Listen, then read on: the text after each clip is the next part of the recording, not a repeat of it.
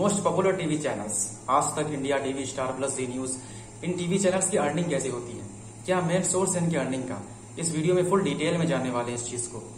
Video बहुत interesting होने वाली है। So let's get started TV channels की अर्निंग मेनली एडवर्टीजमेंट के थ्रू होती है।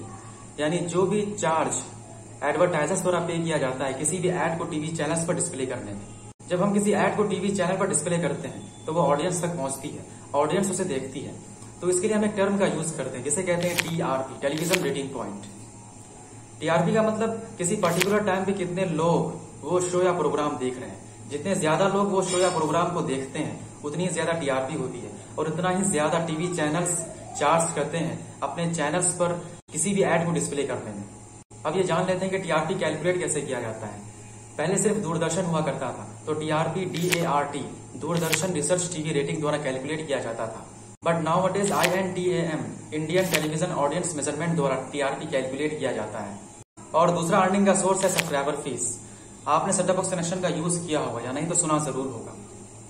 तो हम हाई टीआरपी चैनल्स या अपने फेवरेट टीवी चैनल्स को सब्सक्राइब करते हैं, ताकि उन पर आने वाले शो या प्रोग्राम को देख सकें।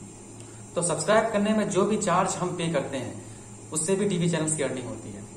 और लो टीआरपी चैनल्स तो अपने व्यूज़ बढ़ाने पर काम कर रहे हैं तो वो किसी तरह का चार्ज नहीं करते। तो आज के इस वीडियो में हम जान चुके हैं कि टीवी चैनल्स की अर्निंग कैसे होती है। अगर वीडियो पसंद आई हो तो लाइक कीजिएगा और कमेंट करके बताइए कि वीडियो आपको कैसी लगी।